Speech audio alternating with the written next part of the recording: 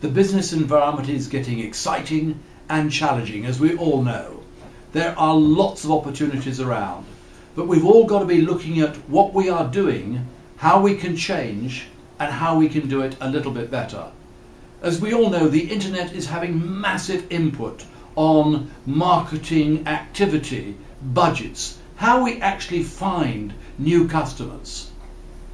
My next business masterclass is going to be looking at this particular subject. We're going to be looking at the latest skills and techniques of selling. How to win business when you're not the cheapest. How we can find new customers on the back of our existing customers. There are so many opportunities with referrals. We're going to look at that in detail. But above everything else, this masterclass is about change, doing it a little bit better. Highly practical, usable ideas that the delegates who attend can put into practice immediately on their return.